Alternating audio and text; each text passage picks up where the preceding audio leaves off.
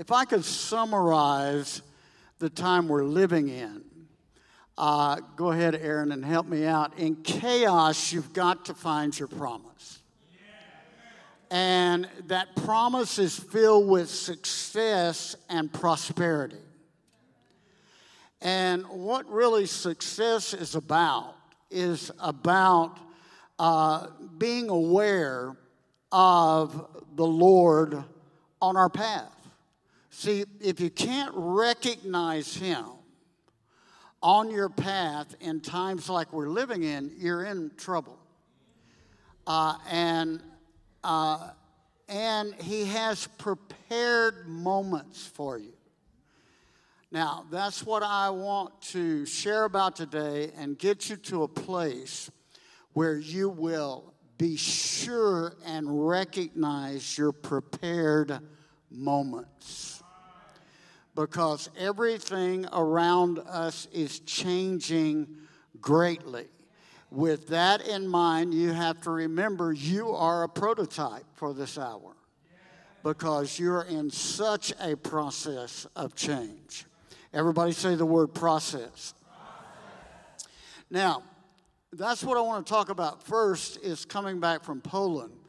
Uh, Poland isn't the easiest nation in the world to start with, and I've been several times, but uh, when COVID happened and in March 2020, when God shut us down, uh, I, I really believe the Lord just pulled us all aside and said, You're going to have to understand I am pulling you aside. You're living in a Passover era. That means every Passover is very key for you to recognize. I wrote a book called Passover Prophecies. If you don't have that book, we've got quite a few books out there. Three for 25. Just get what you need. So, uh, uh, a lot of those books will help you right now. But that book really helps us through the next two years specifically. And uh, when he pulled me aside uh, after traveling 550,000 miles a year, I had to say, Lord, what are, what's my life going to be? I mean, and he told me, he said, I want you to start over in your backyard. And uh, when I would get home from a trip, I would go immediately to the garden, walk the garden, settle in the Israel Prayer Garden, what I had uh, experienced on the trip, spend some time with the Lord, then I would go home. But He wanted me to restart in my backyard. And then uh, what He had me do for three straight weeks was build a fire in uh, the fire pit. And I am not a big tonguer. I've been speaking in tongues since I was 18. But you know, some people are just tonguers. They just rattle it off, you know. I mean, they just. But I've, you know, I, I interpret and I think through things. And uh, the Lord told me, You're going to pray in tongues three hours every day. I sat there before that fire and I prayed in tongues for three hours. And then the Lord began to speak to me over uh, what I would do. He told me the first year you'll be able to go to 10 cities. And uh, then I began to ask him at the beginning of this year, Lord, are my whole call since I was 18 has been for the healing of the nations. And I've gone to so many nations all over the world. And I said, Lord, I, I can pray here for the nations. I can do whatever you want. But the Lord said two words for me you will pioneer again. Now, what he had told me during that three weeks I prayed in tongues in 2020, he said, You have pioneered so much, you are not strong enough to pioneer for a season. And you will have to wait until I confirm to you that you are to pioneer. Because, first of all, the world has changed. and it's not easy to travel like we all used to travel. Uh, it's very difficult. The warfare is intense. Every nation is in hanging in the balance, it seems. Ours seems to be teetering in the balance. Uh, and uh, he had to wait until he had built me new and fresh to send me again and caused me to recognize him. So this year, uh, I was supposed to be in Korea the very first week of the year, but the Lord uh, postponed that to July. And then he sent me to Amsterdam, England, and Northern Ireland. And it was, a, a, a, it was like a brand new journey. And this is why I'm sharing this for you. You have a moment in your life where you have to see your journey totally differently. And then he sent me to Costa Rica. What he showed me was I was going to have to hear him at every place he sent me. I couldn't just go minister because I can minister and because I've been ministering for 50 years. I couldn't go just because there were needs, because the kingdom is, does not operate on needs. That's not what it's about. The kingdom of God is within us, and the kingdom is filled with power. And uh, then, you know, you have incredible friends like Peter and Trisha, and when a crisis like this happens, you want to immediately go. And you know, you can't go to, it's time for you to go. You can't. And uh, you have to wait and you have to watch. And this is very important for you as you move forward. You have to wait and you have to watch very carefully. Uh, and you have to know. And so the Lord decided I would go to Costa Rica for a meeting of Latin America, which I hadn't been to Latin America in a long time. And uh, when we got to, and Costa Rica is probably the best nation of all the nations in Latin, Latin America. I, when I say best, it's, it's, a, it's fairly godly and it's uh, not as intense as some of the nations. And so when we got to the airport, they announced in Dallas that uh, immigration was very difficult in Costa Rica. And they said, so be sure you have all your ducks in order and be sure your papers are in order or you'll just be turned around there and sent back. Well, that wasn't like the last time I went to Costa Rica. But it caught my ear, and when Aaron and I got off the plane in Costa Rica, it was a sea of people at immigration.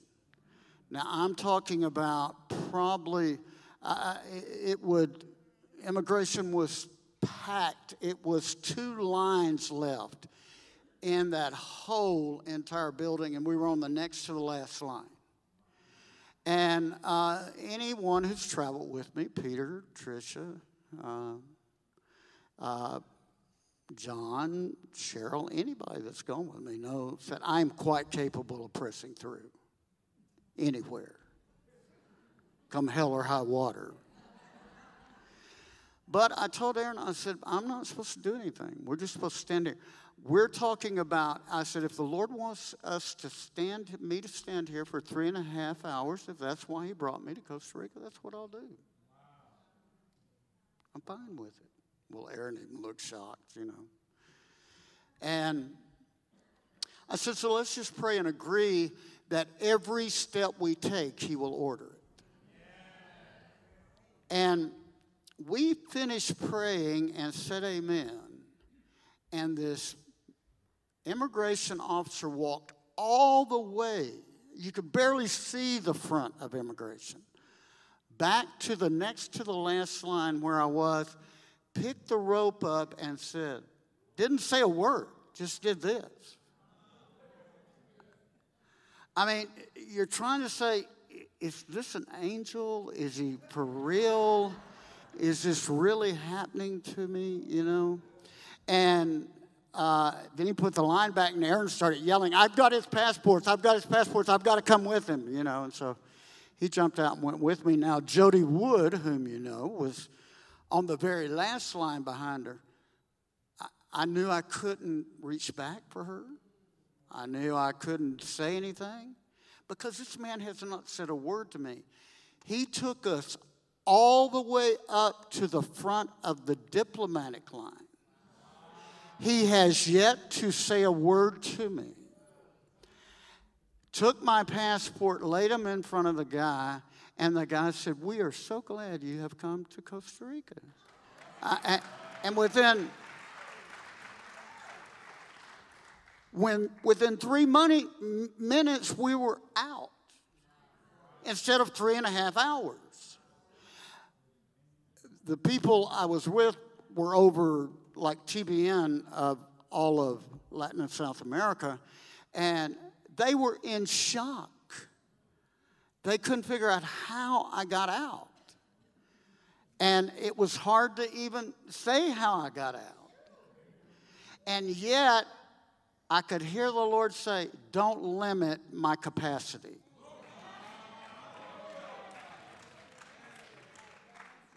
I've, I have plans you're not aware of.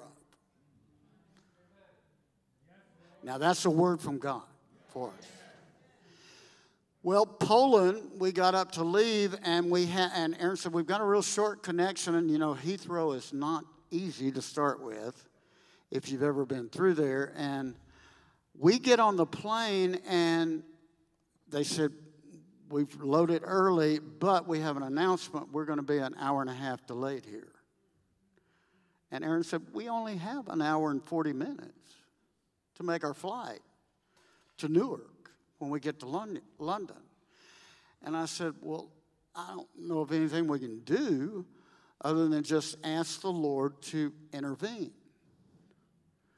And I mean, we were there an hour and 20 minutes. We get, and the uh, pilot said, We're going to try to make up some time he made up some time, and we got there, and we had 20 minutes before our next flight left to Newark. Some way or another, Brian, who's been with me for 30 years, had made us, because, you know, I'm always thinking American because I've flown American for so many years, and we're on BA, so we, we've landed in the BA terminal, terminal, and we're right there. Let's thank God for Brian.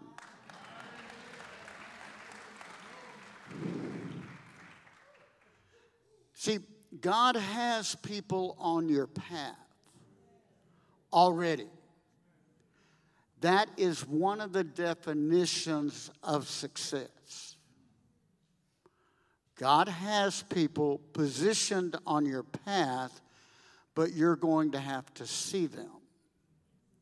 Poland was incredible. We, it, it, was the most incredible time I've ever been in Poland. We had 150 Catholic uh, priests and leaders that came of the 700. Now, that's a miracle. To hear me, and you know, I'm not your most traditional person on earth. And and they actually sponsored because God is doing something in Poland for me to be there. It was really an interesting time. But we get to Newark, and Newark is turned upside down. If you're flying out of Newark right now or flying into Newark right now, and we get to get our rent car and they said, You're going to have to go to the preferred desk. We went to the preferred desk, and there's absolutely no one there. So we went over to the regular desk, and they said, Well, it's a mystery. She should have been here at 2 o'clock, and we don't know where she's been in the last two hours. I said, Well, we, we just take a car. They said, We have no cars, none whatsoever. None. Well, one of the attendants, not the people who operate at the gate, was walking around this lovely, black man. I mean, older. I would have to say 80. And you can see his role was just to help direct traffic. And he came over twice to check on me because they said, There's nothing we can do. You can stand in front of the preferred desk and hope that one day she will show up. So I, I, I did what the Lord told me to do through that guy. I went and stood there. I was the only one there, looking like a nut in front of a desk where nobody was there. Well, this little fella came over and said, I keep noticing you. I said, Well, we don't have a car. He said, We have no cars. And then he said the most incredible thing. He said, That guy that just came up behind you, he came here two days ago trying to get a car. He was so ugly to me, I hope he never gets a car.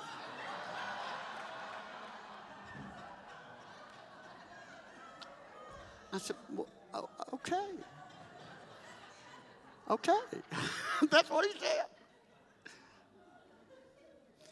And I said, Well, we would love to have one if there is one. He said, Well, there are no cards. I, what else was I do? I stood in front of the empty desk. I couldn't move. I didn't know what to do. Now, I'm, this has a reason for this. When you don't want, know what to do, you stand. You don't do anything else, you just stand. Well, nobody is doing anything except this little guy, Easter. And he comes back and he said, I really like your hair.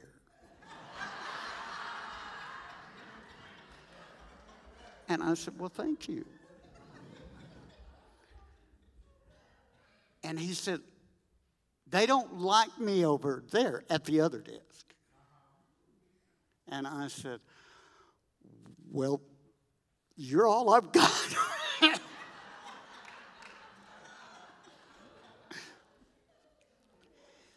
and he said, I'll tell you something. Can you drive a truck? I said, if it's got four wheels, we can drive it. He said, You're going to come with me, and I'm going to take you over there, and they're not going to like me, so don't pay any attention to what they say. and I'm going to put you in front of the line, and I'm going to tell them, You're taking the truck. Oh, okay. okay. Did not say a word knew not to say a word. Well, this guy just took over. I loved it. And he said, Give him the truck. They said, Well, we were really not supposed to. Look at all these people, none of them have a car. And he said, Give him the truck. Well, they gave us the truck.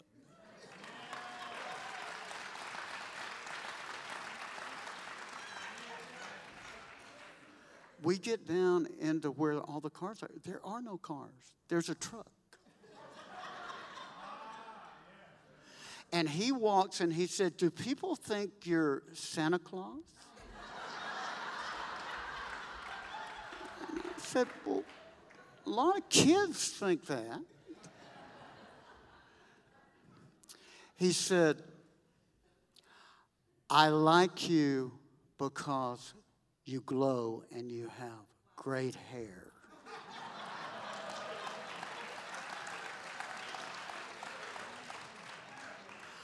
I said, I like you because you gave us a truck. Ooh, and we blessed him abundantly. Now, I'm saying that for a reason. If you don't recognize today on your path what God is doing in the midst of the chaos and trials that we're being confronted with, you're going to end up way out of time. And then we get here, and Trisha has gotten us a room, and we went in, and the manager came out to help get in a room because you have there's two places in the world that gives the best baskets here and Amarillo. And that's why we love to go to both, both of those places. And she knew I had a basket you'd given. Now, this is key. Remember when they came back and told Jacob that Joseph was alive? Two things got his attention the prophetic words that they spoke that only Joseph knew. See, they, the Word of God says his heart was dead because of grief. Dead. And it came alive because of the prophetic word. And then it became alive because of the wagon full of stuff they sent him. That basket made this lady come out. And she started talking and went ahead and checked us in. And I said, Where are you from? She said, Warsaw, Poland. I said, We just flew from Warsaw, Poland. And therefore, we just began to talk. She began to ask me questions. We began to talk. I am telling you this morning, God has your path. Now, yours has changed greatly and drastically, but God has your path. Now, let me explain success, and then I want to get you to a place and I want to impart something to you. There's a prophetic anointing here. And you have to learn to thank God for everybody on your path that He has put there. Now, remember that. If you lose that thankfulness, you're going to get more messed up. And like I said, Brian, some way or another, God used him to get us here. Well, he's been doing it for 30 years all over the world, and some way or another, by the Spirit, he knows his role. But let's talk about Brian for a minute. The first time I met Brian was in 1994. Mike and Cindy and I were doing a conference called Healing America's Wounds and the guy I was rooming with was an incredible guy. And I went to bed because I was leading prayer at 5 a.m. And he came to our room, and I was in bed. It was 11:30, 12, and he opened the door and he brought this kid in, and he said, "This guy works for Peter and Doris, and we need to minister to him." Well, now, Brian had hair down to here, long, curly, blonde hair. And I looked up at this kid and I said, That guy has so many demons. We will be up all night if we minister to him. He slept with them this long, he can go ahead and sleep with them one more night.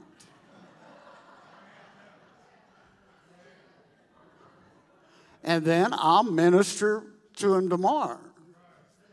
Well, now think about that.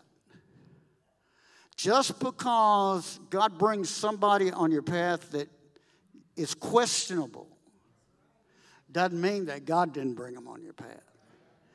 30 years later, I couldn't do my life without Him. See, let's thank God for the people He brings on our path.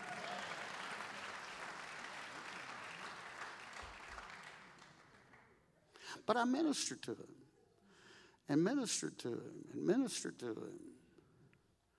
Now, what is success? Success really, because see, he told, the Lord told Joshua, now Moses is dead. And I've been waiting 476 years, and I'm not going to wait any longer. Just because Moses is dead, we're still going in. And he said, and Joshua, you're going to lead us, and if you'll meditate day and night over what I have said, you will succeed. And he had a hard row ahead of him. And success means to be correctly aligned in a way that whatever is right, whatever is fitting, whatever is proper about you will prosper. It actually means being at the right place at the right time. It means on your road, I have help. Now say out loud, I'm going to succeed. I will help you reach your next destination. That's what success means. It means you will gain wealth, you will gain fame, you will gain rank, whatever it takes to get you there. It means there is a manifestation of an expectation that you have been hoping for for a long time that will happen. It means there will be a favorable outcome. Now look at somebody and say, You will succeed. Now say this you're in a hard place, but you're going to succeed. Now, that's so important to know that because we are living in an era of war. That means it's warfare, it's conflict. You can't kick against the pricks. You're going to have to take your assignments and you're going to have to know that you can succeed in every conflict. But it also means there are new births for you coming along the way. And see, this whole era we're living in is about breath. It's about voice. It's about Holy Spirit awakening in you. So you can't just operate out of the constructs of your thought process, or you're going to limit God to you. Look at somebody say, Well, we don't want to do that. But Holy Spirit because this is an era of war and it's also an era of Holy Spirit, He's going to be more prevalent in you than He has ever been. Go ahead, Aaron. Now, with that, in the midst of this, you have to understand there are times and seasons in our lives that are key for our victory. If we recognize and understand them, you will be able to unlock what you need to unlock. And another thing about it is faith works in time and place. Faith isn't just something that's out there, it isn't something that happens. It's God in you working in time and place. That's what Acts 17 says. He predetermines your time and faith that you might grasp for him and know him. And Ecclesiastes says there's a time. There's a time to praise. Turn, turn, turn. There's a time. There's a time for death. So you have to recognize you're having to process by faith everything in your path in time no matter what it is. Now, another thing about time you want to understand is God is the same yesterday, today, and forever. Faith is going to work in time and boundaries. And see, time, you have past time, you have present time, and you have future time.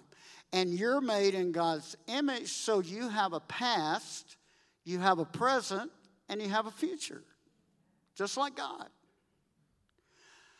And how we move in time becomes so key because you're going to have a moment in time, like yesterday, that if you recognize it, you're going to get to where you're going next. A word linked with time is plethora. It's called the fulfillment of time. He's adding up everything that's going on in your path, and eventually He will pour out what needs to be poured out. And then never let earthly time confine you. We have an eternal time clock built within us we see into eternity. See, I don't live down here, I live in the heavenlies. I just walk down here, but I wrote that book at the end of the year. If you don't have it, I want to encourage you to get it Abiding in His Presence, along with Alamo Beef. If you abide in your place in eternity, you're going to keep seeing things correctly. And when you're down here, don't lose the vision. And Pam will tell me sometimes, well, you know, I'm aware of where you live, but the trash still has to be taken out. so you just do that by faith. Yeah, she's real good, Easter. Now, go ahead, Aaron. Now, with that, you want to know that today, in time, God has an order for recovery, restoration, prosperity, and breakthrough. And see, what happens with us in time, our past is always trying to draw us and pull us out of time. And some way or another, you've got to get everything, good and bad, that's gone on in your past and get it before you in the present. And then God can speak to you and He can say, okay, this is how we're going to deal with that that happened back there. And this is how you're going to advance.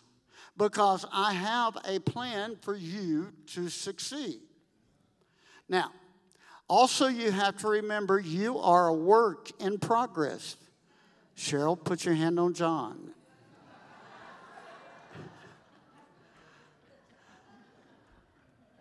You, God's still working with you. Now let's look at Peter. Peter is complete. He, he's totally got it now. But look at the person next to you and said, You ain't there yet.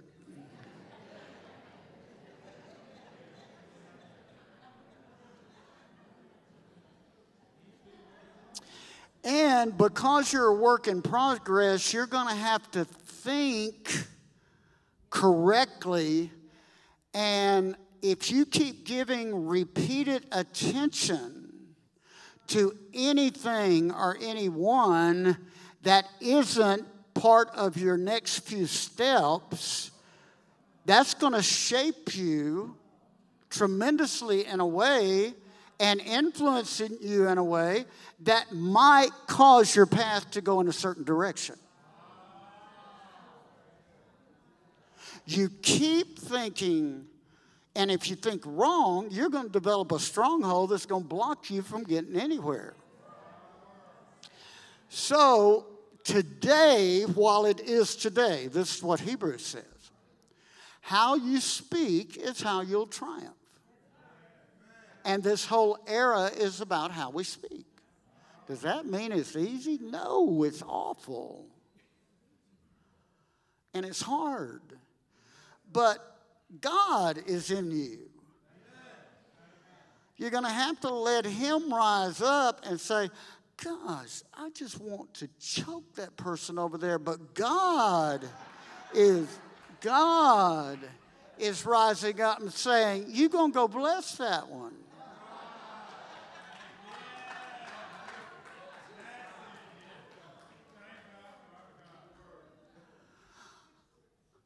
The enemy, it keeps rising up. Well, why'd this have to happen to me? I asked Keith that one time when he and Cindy both gave me words, and I was in and out of the hospital. I was had bad diagnosis, and they both kept saying, "This has to do with your dad." Cindy gave me the word first. Keith called, gave me the gave me the word on Sunday morning. He said, "I just finished Sunday school. I called to tell you what you're going through has to do with Daddy." I said, "Well, he was your dad. Why aren't you going through it?" And he said something to me that changed me. He said, Because I didn't see his future, you knew what got taken from us. And it affected you in a way it never affected me. I never saw one thing good about him. But you did, and you know the loss, and that loss is embedded in your emotions. changed my life. You know, he's something else. That's a mystery of all mysteries. Keith, my, Keith, my brother, most of you are familiar with him, because he can come out with the clarity of heaven in a moment. Now, so here's what the real war is about. On our path and Jesus said this to us. He said, I came that you would have abundant life. Satan came to kill, steal, and destroy. I came that, and here's my favorite version that from Hebrew. I came that you would have abundant life and enjoy life.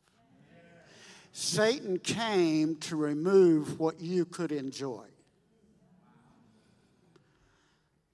And on our path, death, hell, and the destroyer is there. Don't ever be naive enough to think death, hell, and the destroyer is not on your path. It's on every one of our paths. Now, some of us are more familiar with them than others. My whole path has been encountered with death, hell, and the destroyer. And yet, on your path is abundance, joy, and wholeness. That's what the Lord says. And so, you have to know when you meet death on your path, how are you going to deal with it? I think this is the shocking thing for many of us who so love and trust the Lord. How do we deal with death on our path? Because you're going to meet death. The Bible says it's our last enemy. The Bible says it has a sting, can't be prevented. It's just how you going to deal with death on your path. Are you going to live daily fearing it? Are you going to live daily facing it knowing you have an ultimate triumph over it?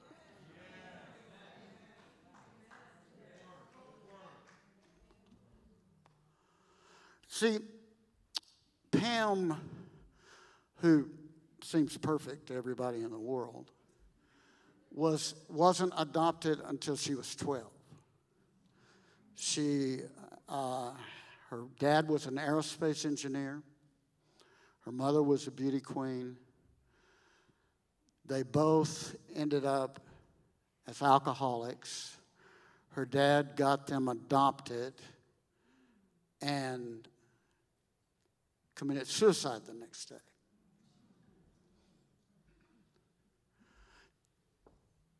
She went from living in California to living in New Hampshire in one day. So, you know, her life changed so drastically, she didn't have any time to really process.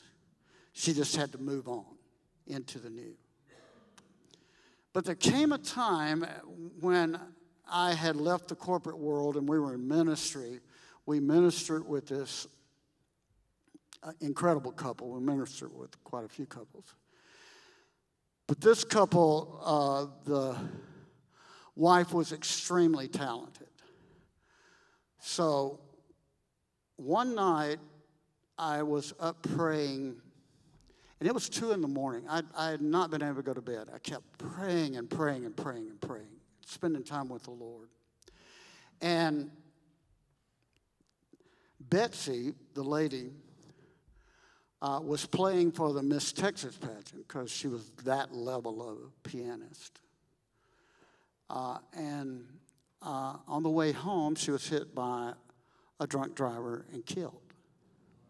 So at two o'clock, we got this call, shocking call, by, from her husband, telling us what had happened. And I woke Pam up out of a deep sleep, and I said, Betsy just got killed. We had just been with them the night before. Well, we got up, we spent time.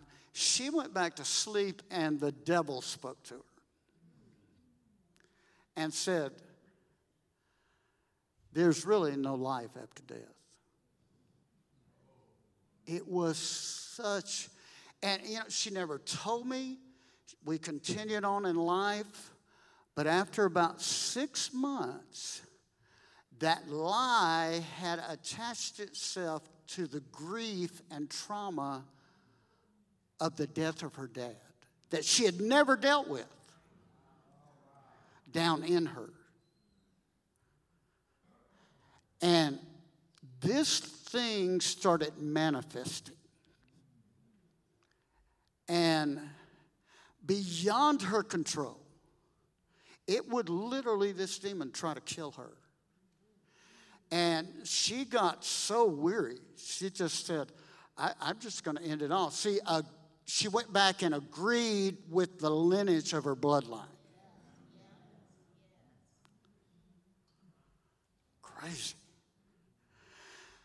And we would go through traumatic times, and I had a demanding, demanding life, and she did too. And she was office manager of the church, and uh, I mean, big church we were now part of.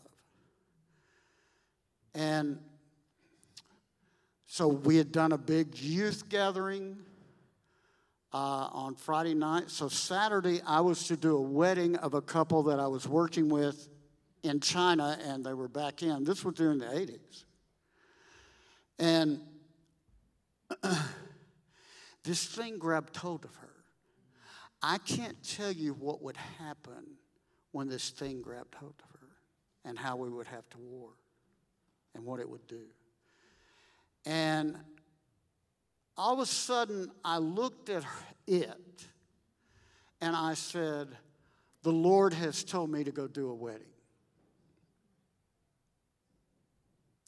And that thing spoke to me through her mouth and said, I will have her dead by the time you get home.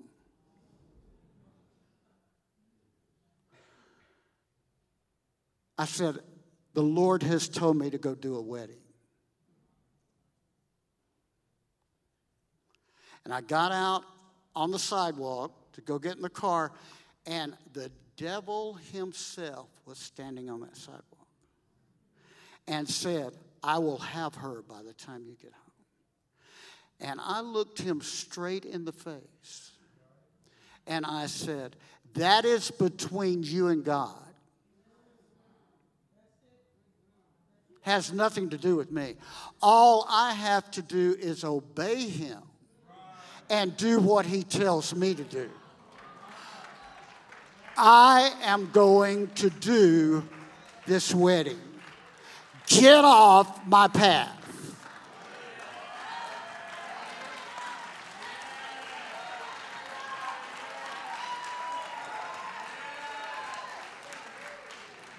I went, did the wedding. I came back. really, I, I went by faith. I walked by faith. I did it by faith. Walked in the house, she was still laying on the couch. And nothing had really changed. I had changed. I had changed. The next week, through a series of events that I write about in one of the books, she, we had friends over. They said, You know, I know you know things about demons, and why do you burn things? I said, Well, I don't know. Sometimes you just burn things because you're supposed to burn them. Sometimes they're evil. Sometimes you're not even sure why you're burning them. You just know you have to.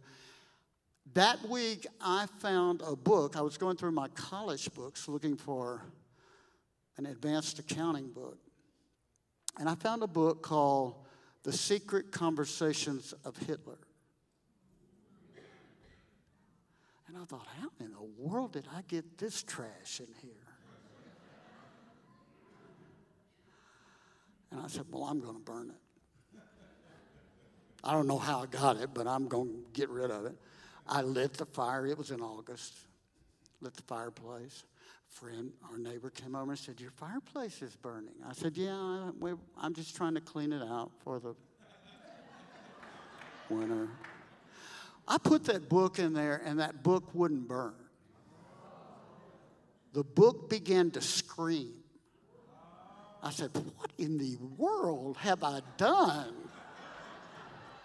You know, that's usually where I start. What in the world have I done? You know. This book screamed to the top of its voice. A demon flew out of that fireplace, knocked the vase off the wall. We had a vase on a platform. It was crazy as I've ever seen. I called this lady in the Baptist church that I had heard about, and nobody liked her because she prayed in tongues and she knew demons. And I said, I, You don't know me, but I do know some about demons. I do pray in tongues. And I'm in a mess over here. My house is swirling. She said, Well, open the back door and command whatever that is out. And I did that.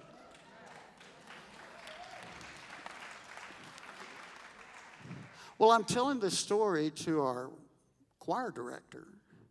And Pam gets the strangest look on her face, and she said, That was my book. Poke Cheryl, John. that was, I said, Really? She said, It was the last thing I had of my dad's.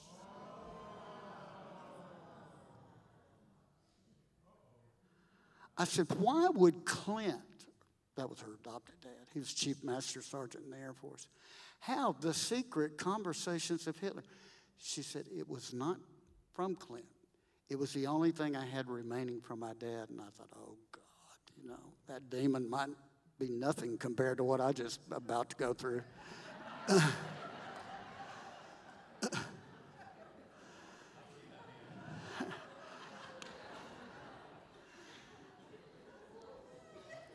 She never said anything.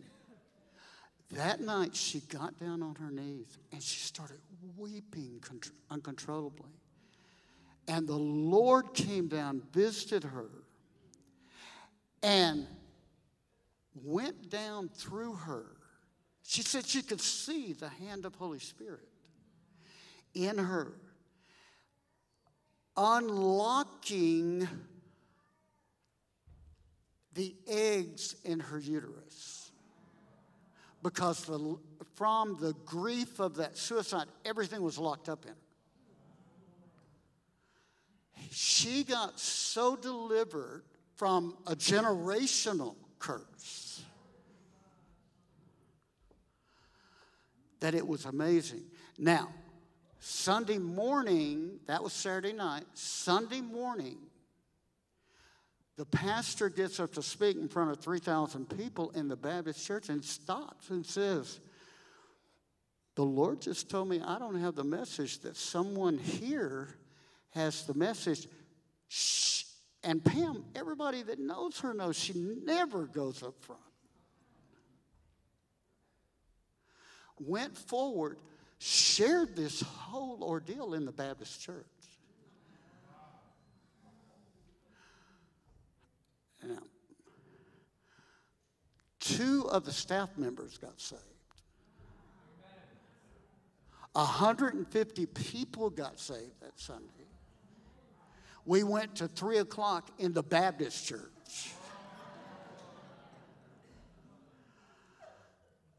And on Monday morning, I'm getting called in to the office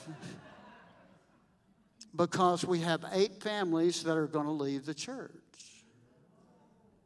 for this reason. Women can't speak in the pulpit.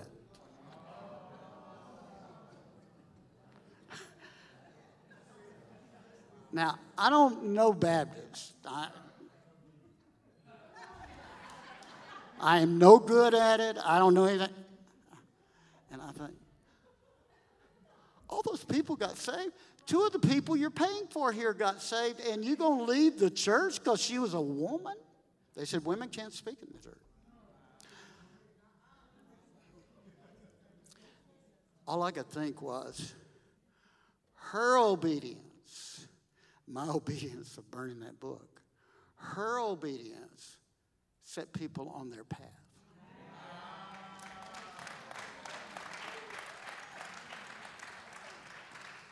Your obedience is going to set people on a path.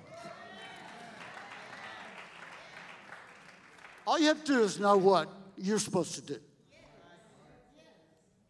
not what everybody else is supposed to do. And when you go through a crisis like this, all you're doing is hanging on to the Lord because God is going to require you to go through the seven steps of grief. So you can't just shake it off and say, well, I'm just going to get back up and do everything I was doing. You can't do that, Trisha. Don't ever let somebody try to force you to do that. You have to keep going, but you also have to let God work in you. And the Lord says to you, I, I, see a word over you just while I'm saying that. The Lord says to you, I have two incredible times of transition for you. The Lord said, You keep walking, and when you hit the transition time, you will not have any confusion.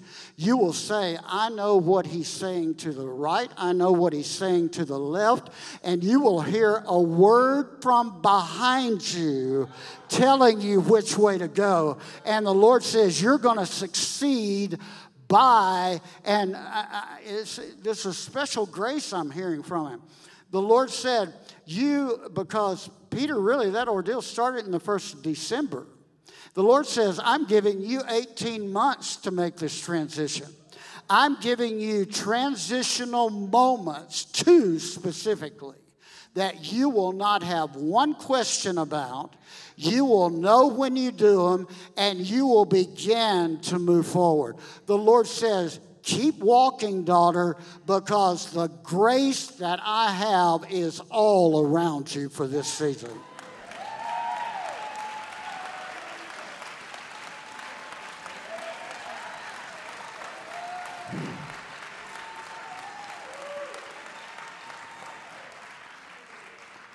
Now, this fellow right here on the front, and all of a sudden the spirit of prophecy is here. You stand up. Yeah, the whole family.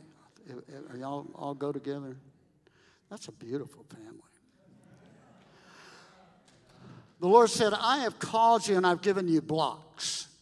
I saw you, you were sitting there with blocks and you were trying to put them together. And the Lord said, You're going to be able to build the way I say build in days ahead. The Lord said, I've given you blocks, and you're going to have to wait for my timing until they fit in the right places. The Lord says, don't try to build them out of time. the Lord says, build as much as you can build, then get back and look at what remains, and let me give you vision of how the others will begin to operate. And the Lord says to you two, you are in this process with Him. And the Lord said, This is a new faith process for you. And it will cause you to come into a place you've never been before because I am going to build a house full of glory that you've never experienced before. And out of that house full of glory, you will begin to draw many in for ministry, saith the Lord.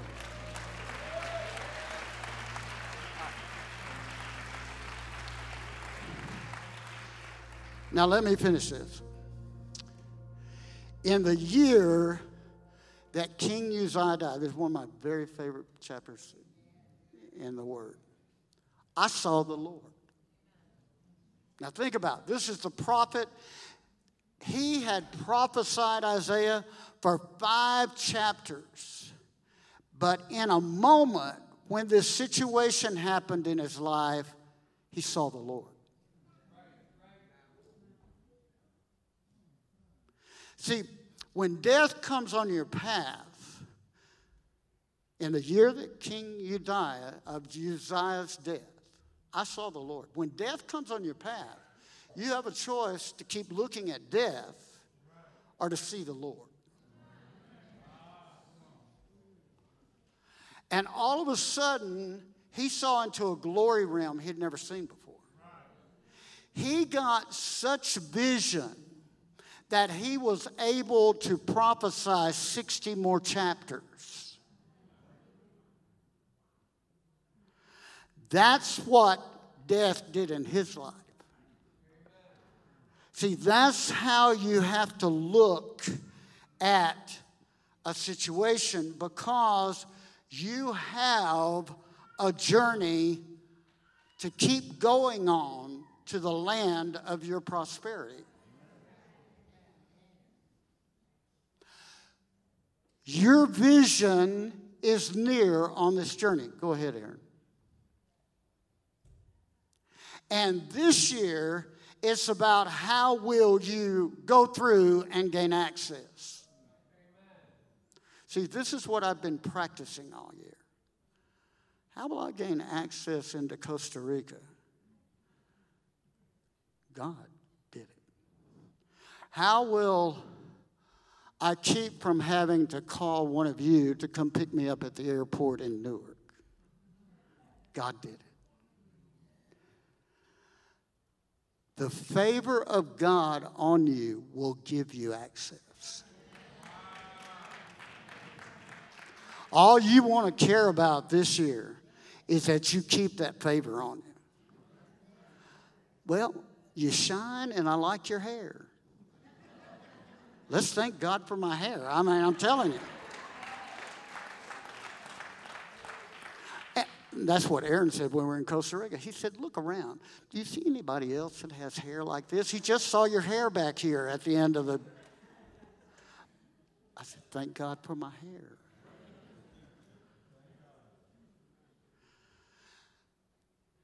That's something I want to say to you right now. Then we're going to start closing.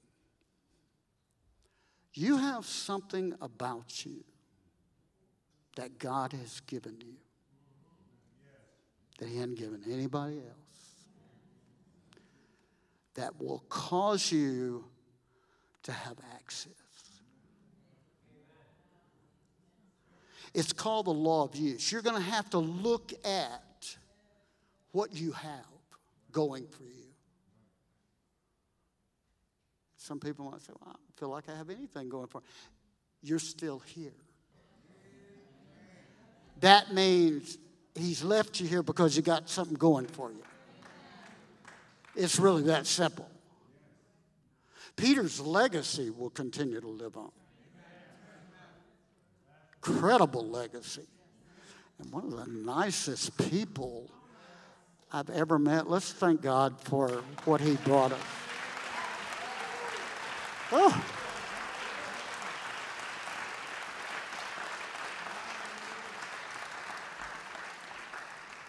I mean, just incredible. Incredible. I always felt like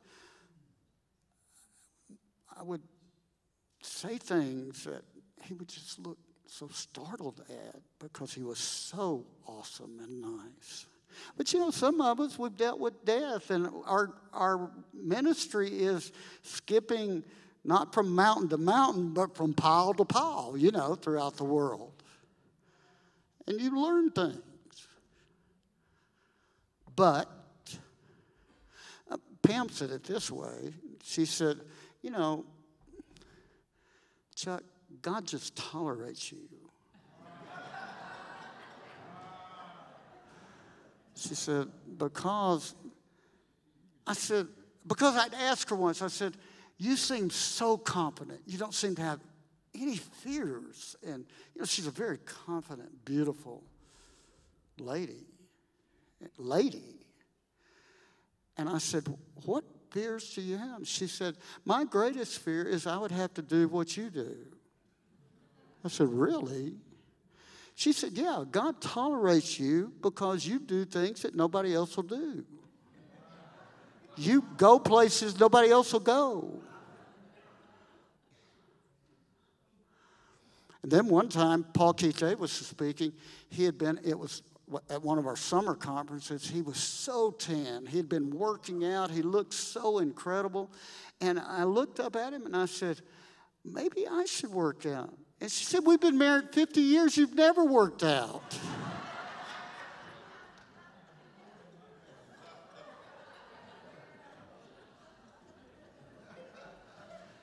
and I said, And maybe I could get 10. She said, You you don't tan, you get red, red, and purple.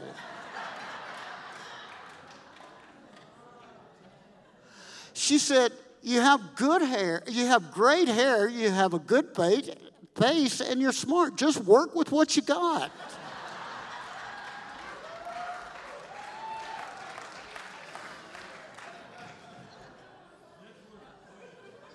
That's a word for you. Easter, just work with what you got. You can blow the shofar. If somebody comes at you, just start blowing it. They're not going to know what to do with that. You don't have to shoot them, just blow the shofar.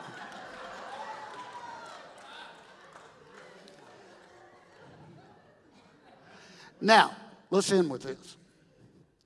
Isaiah had vision for the future of all of us because of the death he experienced.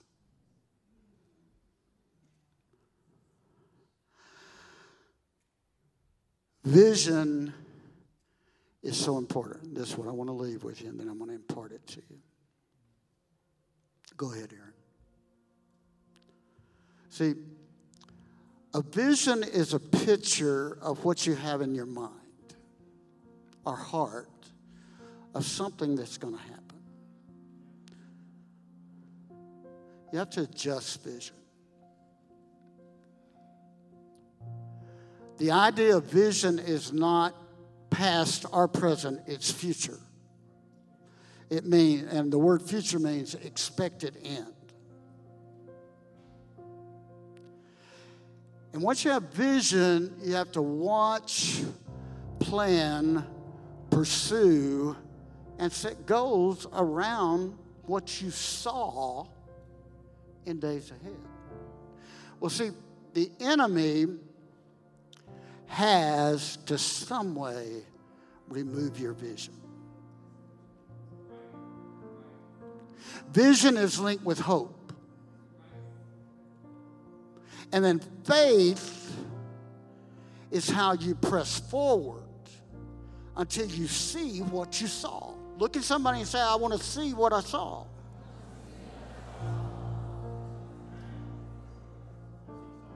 That's what faith is you eventually see what you saw. Because if you see it, it's not faith anymore. So I want you to think of all the things you've seen, but you haven't saw them yet. See, without a vision, without prophetic utterance, a people go backwards. Prophecy is going to give you wisdom for the moment, but it's also going to cause you to be able to interpret your future. Prophecy is someone telling you the mind and the heart of God. Prophecy is what produces vision.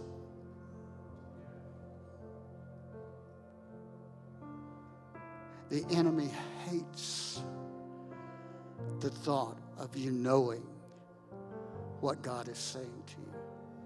He hates the thought that you'll stand up here today and say, I just really have one thing to do. I just have to hear God. I have to just see Him on my path.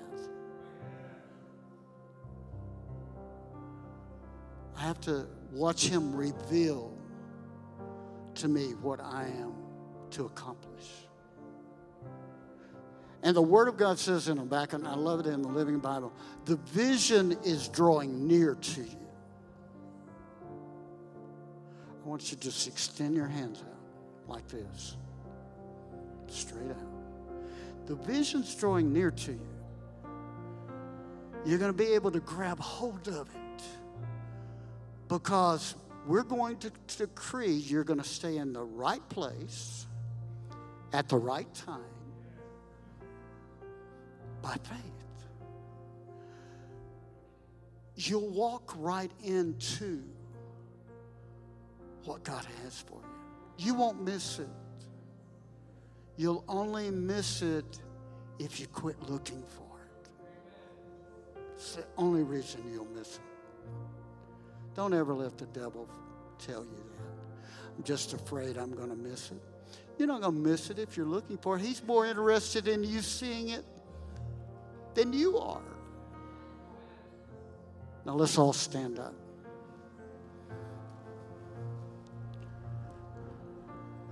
There's two things I want us to do because you're at you're at a new place. Last week when Trisha spoke, that was a turning point. You had to muster up every ounce of faith. You had to pull it up from your toenails and let it out. God saw it. I couldn't be here had you not. Now I'm telling you, I know God too well. I know Him. I walk with Him. He tolerates me. You pulled it all the way up from your toenails and you spoke by faith.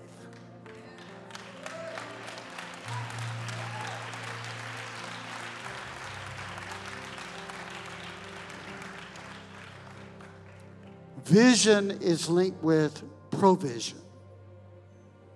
When you have vision and you move forward, provision gets unlocked.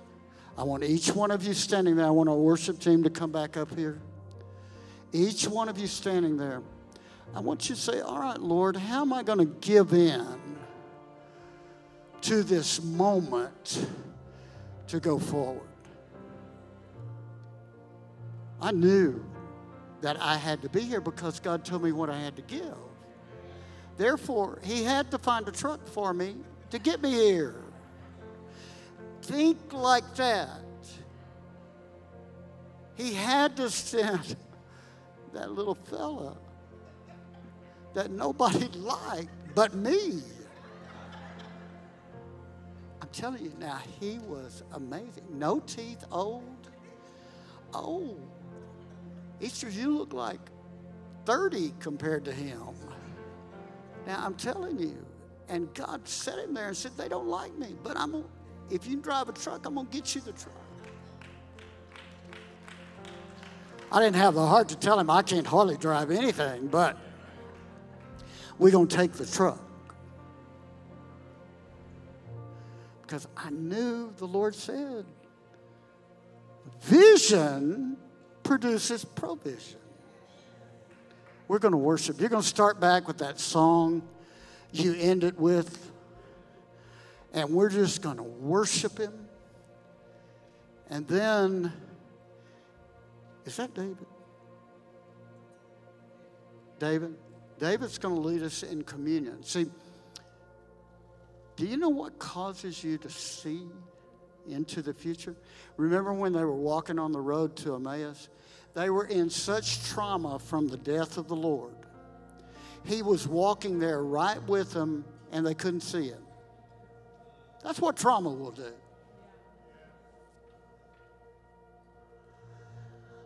But they took communion. And all of a sudden, their eyes were open to their future. So, vision produces provision. We're going to give, and then today we're going to take communion, and you're going to start seeing in a way you've never seen before.